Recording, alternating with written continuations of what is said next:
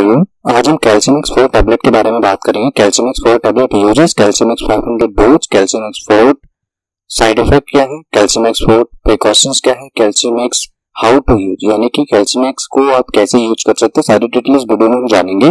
Calcium X four आपको कई नामों से मार्केट में मिल जाता है और इसे मैं जो आपका फार्मा होता है, वो बनाता है। कैल्शियम एक्स पी के नाम से मार्केट में अवेलेबल आपको हो जाता है। यहाँ पर आप देखेंगे इसकी मैन्युफैक्चरिंग जो करता है वो मेयर ऑर्गेनिक्स प्रोविटी लिमिटेड करता है। कंपोजिशन की अगर बात करें तो कैल्शियम कार्बोनेट हंड्रेड एमजी होता है प्लस कॉल्सीफेरेट कैल्सीफेरोल 500 IU होता है। इंटरनेशनल यूनिट जिसे बोलते हैं मैग्नीशियम हाइड्रोक्साइड होता है 240 mg प्लस जिंक होता है 11 mg मिलीग्राम। राइट तो यहाँ पर जो कॉल्सी पोलीकैल्सीफेरोल है 500 इंटरनेशनल यूनिट ये बहुत ही ज़्यादा हेल्पफुल हमारे बॉडी के लिए होता है। यहाँ पर अगर हम बात करें कुछ बेसिक्स के बारे में तो समझिए, इसके यूजेस क्या होते हैं? यहाँ पर यूजेस में कैल्शियम एक्स पी टैबलेट जो होता है, ये tablet promote calcium absorption in the body यानी कि कैल्शियम के एब्जॉर्प्शन को प्रमोट करता है। कैल्शियम ज़्यादा अच्छे तरीके से एब्जॉर्ब शरीर के अंदर हो, इसके लिए इसका यूज़ किया जाता है। It also promote growth and development of bones यानी कि इसके अंदर कैल्शियम भी है मैग्नीशियम भी है, और जिंक भी है। साथ ही साथ इसकी हेल्प से आपके हड्डियों में मजबूती आती है, आपकी हड्डियाँ डेवलप होती हैं। इस तरह की बेसिस आपके लिए बहुत ही ज़्यादा हेल्पफुल होते हैं। अगर हम calcium X four tablet plus के बारे में बात करें तो can use as a directory supplement as they can provide extra calcium to the body यानी कि अगर हमारे शरीर के अंदर कैल्शियम की कमी होती है तो कैल्शियम की कमी को पूरा करने के लिए एज ए डाइटरी सप्लीमेंट आप कैल्शियम मैक्स फोर्ट प्लस का टैबलेट यूज़ कर सकते हैं।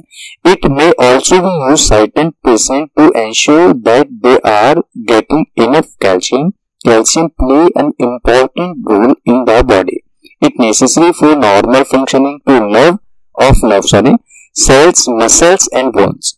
If there is not enough calcium in the body and blood, then the body will take calcium from wounds, thereby weakening the wounds. यानी कि calcium हमारी body में necessary होता है। किस चीज़ के लिए? फंक्शनिंग के लिए। कौन से फ़ंक्शंस के लिए? नर्व है नर्व्स के फ़ंक्शन है मसल्स के फ़ंक्शन है हड्डियों के फ़ंक्शंस हैं। ओके अगर शरीर में कैल्शियम इनफ नहीं होगा तो ऐसी स्थिति में ये कैल्शियम हमारा बॉडी वूंस से लेना स्टार्ट कर है हड्डियों से लेना स्टार्ट कर देता है, जिसकी वजह से हड्डियाँ कमज़ोर हो जाती है। बेनिफिट के बारे में बात करें तो देखिए, यहाँ पर क्या क्या बेनिफिट है?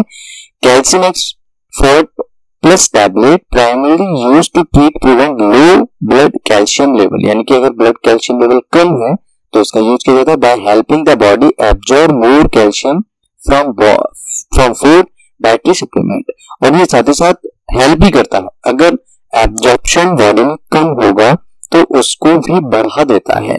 साथ ही साथ it use also battery supplement to provide extra calcium मैंने अगर हम बात करें तो इसके अंदर एज ए बैटरी सप्लीमेंट आप इसका यूज़ कर सकते हैं कैल्शियम एक्स कैल्शियम का। क्योंकि जब भी शरीर के अंदर कैल्शियम की कमी होती है तो आपकी हड्डियाँ कमज़ोर होती हैं, आपको दर्द होना स्टार्ट हो जाता है, आपको पेन होना स्टार्ट हो जाता है और ऐसी स्थिति में बहुत सारी प्रॉब्लम्स होती है। अब बात करें कैसे यूज़ करना चाहिए, यानी हाउ टू यूज़ तो यहाँ पे देखिए calcium four tablet are me to be solid whole with glass of water that recommended dose is one और टू टेबलेट्स अ डे यानी कि एक दिन में या तो आप एक टैबलेट लें या दो टैबलेट लें। अगर दो टैबलेट ले रहे हैं तो आप विदाउट डॉक्टर कंसल्टेशन के नहीं लीजिएगा। ठीक है? आपको रिकमेंड किया जा सकता है। अगर ज़्यादा कैल्शियम की कमी है तो दो टैबलेट अगर नॉर्मल से थोड़ा सा कम है तो आपको एक टैबलेट डेली रिकमेंड किया जा सकता है, जो कि आपके डॉक्टर के द्वारा ही बताया जाएगा।